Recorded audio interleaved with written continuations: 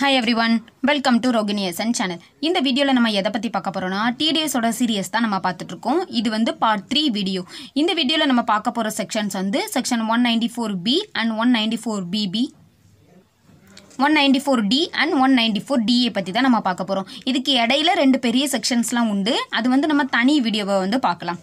இப்போ இதில் நம்ம பார்க்க போகிறது winnings from lotteries crossword puzzles and horse races section one ninety four B and one ninety four BB இதுக்கு rate of tax on casual இன்கம்க்கு நம்ம பார்த்தோம்னா a casual and non recurring நேச்சராக நம்மளுக்கு இருக்குது. இந்த மாதிரி பெட்டிங் கேம்பிளிங் இந்த விஷயத்துல இருந்தாலும் நம்மளுக்கு கிடைக்குது அப்படின்னு சொன்னால் flat rate of thirty percentage section one one five BB படி அது நம்மளுக்கு டேக்ஸபிள் கேஷுவல் இன்கம் வந்து நம்மளுக்கு டேக்ஸபிள் இன்கம் ஃப்ரம் அதர் சோர்சஸ்லேயும் நம்ம பார்த்துருப்போம். Section one one five BB அப்படிங்கிறது.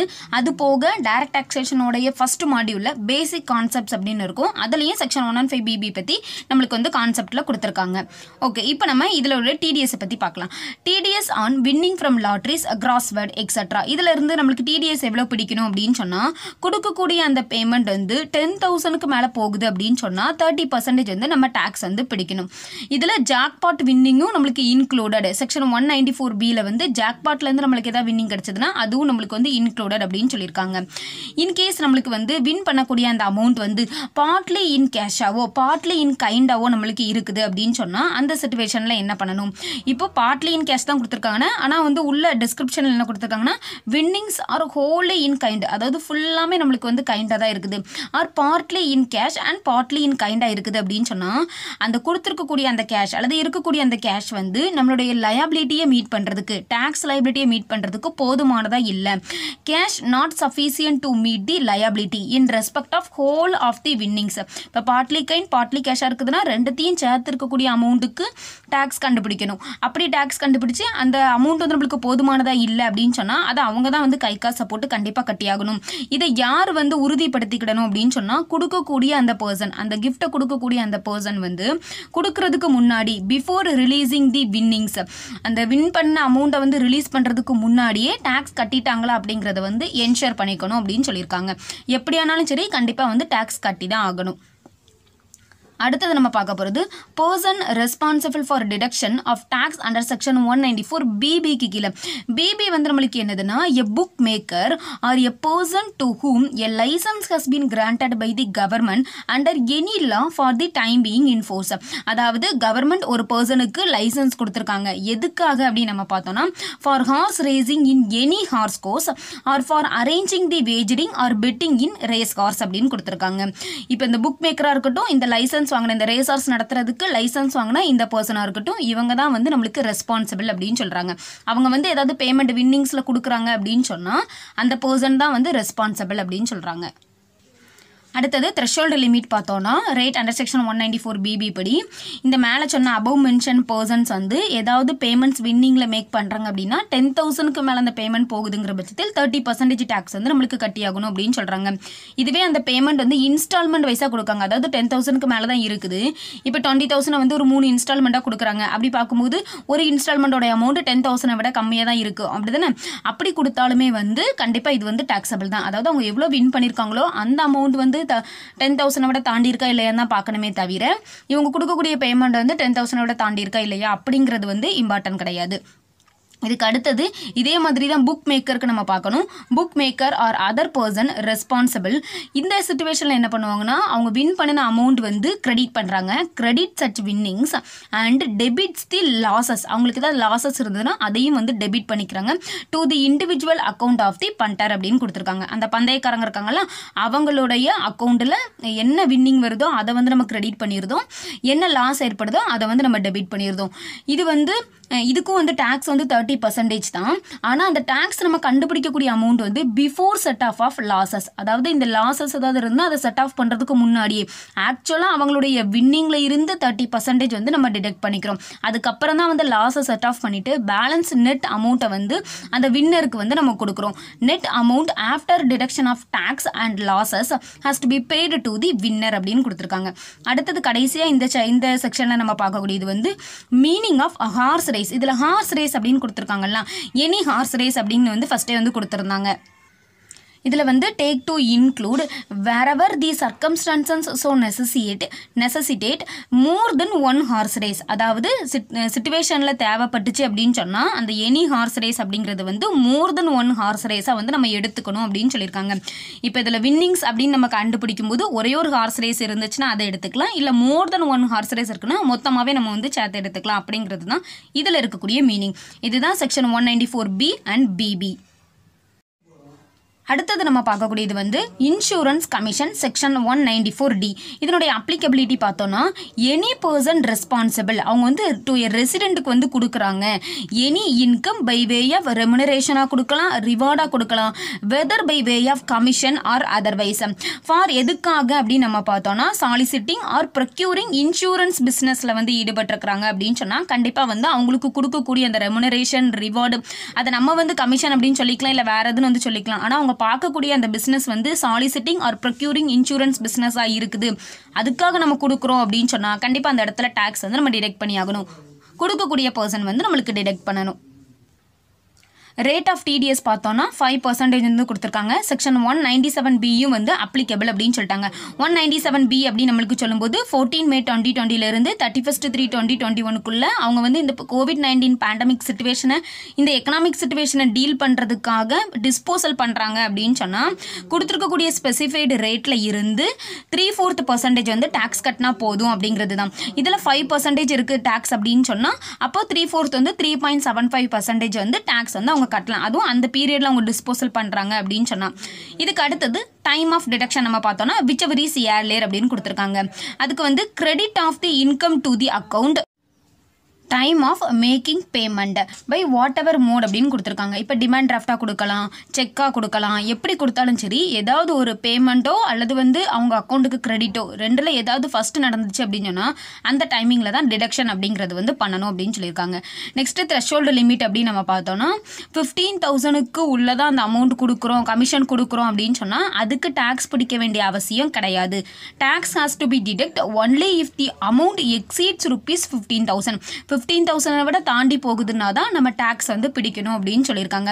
இதுதான் section one ninety four D அடுத்தது நம்ம பார்க்க போகிறது section one ninety four DA payment in respect of life insurance policy taxability of sum received under LIC பாலிசிக்கில் நம்ம வந்து அமௌண்ட் ரிசீவ் பண்ணுறோம் இன்க்ளூடிங் போனஸ் அமௌண்ட்டும் சேர்த்து தான்.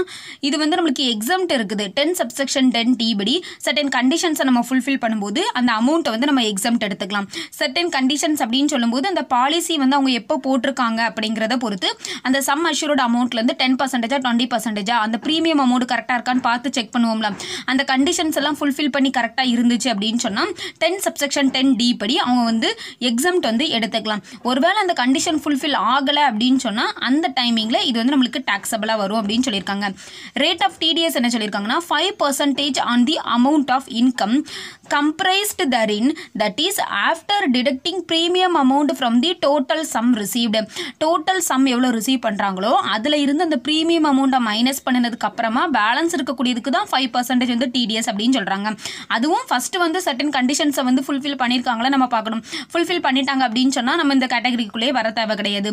ஃபுல்ஃபில் பண்ணலை அப்படின்னு சொன்னால் நம்மளுக்கு டேக்ஸபிள் அந்த அமௌண்ட்டுக்கும் வந்து அந்த அமௌண்ட்லேயே நம்ம இப்போ பார்க்க போகிறோம் அடுத்தது என்னென்னா ப்ரீமியம் அமௌண்ட்டு லெஸ் பண்ணி அது போக இருக்கக்கூடிய அமௌண்ட்டுக்கு தான் வந்து நம்ம டிடிஎஸ் வந்து பிடிக்க போகிறோம் இதுக்கும் section one ninety seven B வந்து ஆல்சோ அப்ளிகபிள் அப்படின்னு சொல்லியிருக்காங்க. அப்புறம் கடைசியாக வந்து த்ரெஷோல்டு லிமிட் வந்து ஒன் லேக் ஆர் மோர் இருந்துச்சுன்னா தான் நம்ம வந்து டேக்ஸ் வந்து பிடிக்கணும் அப்படின்னு சொல்லியிருக்காங்க. இப்போ இது ரிலேட்டடாக நம்ம வந்து ஒரு சம் பார்த்துடலாம். இன்னும் ஈஸியாகவே நம்மளுக்கு வந்து அது அண்டர்ஸ்டாண்ட் ஆகும். எக்ஸாம்பிள் சம்ல வந்து நம்ம இல்லுஸ்ட்ரேஷன் ஃபோர் வந்து பார்க்கலாம். Examine the applicability of the provisions for tax deduction at source under section one ninety four DA in the following cases இந்த ஃபாலோயிங் கேசஸ்லாம் ஒன் நைன்டி ஃபோர் டிஏ வந்து அப்ளிகபிலிட்டி ஆகுமா ஆகாதா அப்படிங்கிறது தான் வந்து கொஸ்டின் இப்போ ஃபர்ஸ்ட் இருக்கக்கூடியதை நம்ம பார்க்கலாம். Mister X a resident is due to receive four point fifty lakhs on thirty first three twenty twenty one இது வந்து நம்மளுக்கு maturity amount four fifty lakhs வந்து கிடைக்குது. ஃபோர் பாயிண்ட் ஃபிஃப்டி லேக்ஸ் வந்து கிடைக்குது. Towards maturity proceeds of LIC policy taken on one four two thousand eighteen policy வந்து one four two thousand எயிட்டீனுக்கு அப்புறமா வந்து அவங்க எடுத்திருக்காங்க. சம் அஷ்யூர்டு எவ்வளோனா ஃபோர் லேக்ஸ் இருக்குது. ஆனுவல் ப்ரீமியம் வந்து one lakh twenty five thousand எடுத்திருக்காங்க. இப்போ ஒன் ஃபோர் டூ தௌசண்ட் டுவெல்லுக்கு அப்புறமா தான் இது வந்து எடுத்திருக்காங்க அப்படிங்கிறதுனால டோட்டல் சம்ல இருந்து சம் அஷ்யூர்ட்ல இருந்து டென் பர்சன்டேஜ் தான் வந்து அவங்க கட்டணும் அப்படிதானே? அதுதான் வந்து ஆன்சர்லயும் கொடுத்துருக்காங்க. சொல்யூஷன்ல பாத்தீங்கன்னா the annual premium exceeds ten percentage of the sum assured in respect of the policy after thirty first three two thousand twelve அதாவது டூ தௌசண்ட் த்ரீல இருந்து thirty first three two thousand டுவெல்லுக்குள்ள ஒரு பாலிசி எடுத்திருக்காங்க அப்படின்னு சொன்னா டுவெண்ட்டி பர்சன்டேஜ் வந்து அந்த some அஷ்யூர்ட்ல இருந்து பிரீமியமா வந்து கட்டலாம். ஒருவேளை ஒன் ஃபோர் டூ தௌசண்ட் டுவெல்லுக்கு அப்புறமா எடுத்திருக்காங்க அப்படின்னு சொன்னா அந்த டைமிங்ல டென் பர்சன்டேஜ் வந்து கட்டணும் அப்படிங்கிறது தான் ப்ரொவிஷன் இப்ப இவங்க வந்து ஒன் ஃபோர் டூ தௌசண்ட் எயிட்டீன்ல எடுத்திருக்கிறதுனால இவங்களுக்கு வந்து ten percentage of the sum assured அப்ப சம் அஷ்யூர்டு வந்து நம்மளுக்கு ஃபோர் லேக்ஸ் இருக்குது. இந்த ஃபோர் லேக்ஸ்ல டென் பர்சன்டேஜ் அப்படி பார்த்தோம்னா நம்மளுக்கு ஃபார்ட்டி தௌசண்ட் தான் வரும். ஆனா அவங்க annual பிரீமியமா one lakh twenty five thousand கட்டியிருக்காங்க. ஸோ இது வந்து அந்த கண்டிஷனை மீறினதுனால டென் சப்செக்ஷன் டென் டி படி இவங்களால எக்ஸாம் எடுத்துக்க முடியாது. ஸோ இந்த இடத்துல இவங்களுக்கு வந்து இப்போ டாக்ஸபிள் இந்த டாக்ஸபிள் அமௌண்ட் எப்படி there of the tax is required to be deduct at three point seven five percentage அப்படின்னு சொல்லியிருக்காங்க. ஏன்னா அவங்க எந்த டைமிங்ல வந்து அதை எடுக்கிறாங்க அப்படின்னு பார்த்தோம்னா thirty first three twenty twenty ஒன்ல வந்து அவங்க எடுக்கிறாங்க. Under section one ninety four DA அதாவது அந்த ஒன் நைன்டி செவன் பி அப்படிங்கிற அந்த செக்ஷன் அப்ளிகபிள் ஆகி அந்த கோவிட் நைன்டீன்ல அந்த ரெடியூஸ்டு ரேட் வந்து உங்களுக்கு போட்டிருக்காங்க.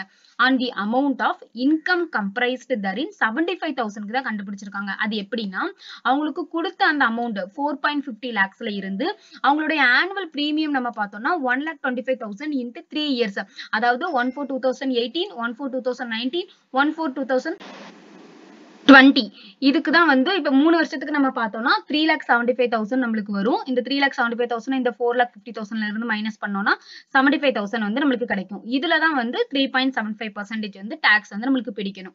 இப்போ செகண்ட் கேஸ் பார்க்கலாம். Mister Y a resident is due to receive three point twenty five lakhs on thirty first three twenty twenty ஒன்ல வந்து அவங்க ரிசீவ் பண்றாங்க. And LIC policy taken on thirty first three two thousand டுவெல்ல வந்து அவங்க எடுத்துட்டாங்க. For which the sum assured is three lakhs and the annual premium is thirty thousand hundred அப்படின்னு கொடுத்துருக்காங்க. இப்போ நம்ம பார்த்தோம்னா இது thirty first three two thousand டுவெல்ல உள்ளது அப்படின்னா அப்போ twenty percentage of the sum அஷ்யூர்டில் இது வரும். இவங்களுக்கு என்ன கொடுத்துருக்காங்கிறத பார்ப்போம். Annual premium is less than twenty percentage sum அஷ்யூர்டில் வந்து நம்மளுக்கு டுவெண்ட்டி பர்சன்டேஜ் இப்போ பாலிசி டேக்கன் வந்து before one four two thousand twelve the sum of three point two five lakhs is due to mister Y would be exempt under section ten subsection ten D படி இவங்களுக்கு வந்து நம்மளுக்கு exempt அப்படின்னு கொடுத்துருக்காங்க. Hence no tax is required to be deducted at source under section one ninety four DA அப்படிங்கிறது வந்து இப்போ நம்மளுக்கு தெரியுது.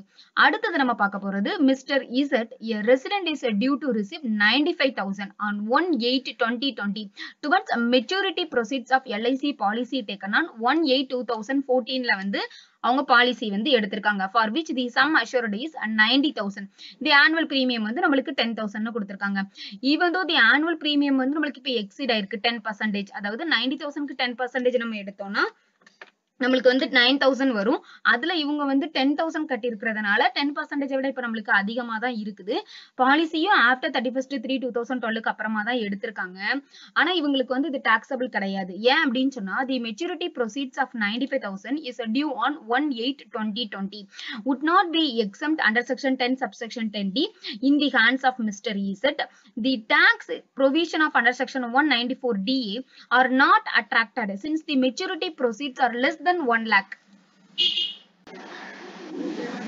இவங்க டென் சப்செக்ஷன் டென் டி படியும் வந்து எக்ஸாம் எடுத்துக்க முடியாது. At the same time one ninety four D படி உங்களுக்கு டாக்ஸபிளும் வந்து கிடையாது. ஏன் அப்படின்னு சொன்னா டென் பர்சன்டேஜ் விட தாண்டி இருக்கு. அவங்க அந்த கண்டிஷனை வந்து ஃபுல்ஃபில் பண்ணல. அந்த கண்டிஷனை ஃபுல்ஃபில் பண்ணல அப்படின்னு சொன்னாலே அது வந்து டாக்ஸபிள் தான். ஆனா அதுக்கும் மினிமம் அமௌண்ட் வந்து கொடுத்துருக்காங்க. ஒன் லேக் அப்படிங்கிறது. அந்த ஒன் லேக்குக்கு உள்ளதான் மெச்சூரிட்டி அமௌண்ட் இருக்குது அப்படின்னு சொன்னா அது வந்து நம்மளுக்கு டாக்ஸபிள் ஆகாது. இவங்களுக்கு வந்து நைன்டி ஃபைவ் தௌசண்ட் இருக்கிறதுனால இது நம்மளுக்கு டாக்ஸபிள் கிடையாது. அவ்வளவுதாங்க. இதோட section one ninety four DA வந்து நம்மளுக்கு முடிஞ்சுது. டோட்டலா நம்ம வந்து one ninety four B one ninety four BB one ninety four D and one ninety four DA பத்தி நம்ம பார்த்திருக்கோம். இந்த வீடியோ உங்களுக்கு யூஸ்ஃபுல்லா இருந்திருக்கும்னு நினைக்கிறேன். வேற யாருக்காவது யூஸ்ஃபுல்லா இருக்கும்னு நினைச்சீங்கன்னா அவங்க கூட இதை ஷேர் பண்ணிக்கோங்க. நான் உங்களை இன்னொரு வீடியோல சந்திக்கிறேன். தேங்க்யூ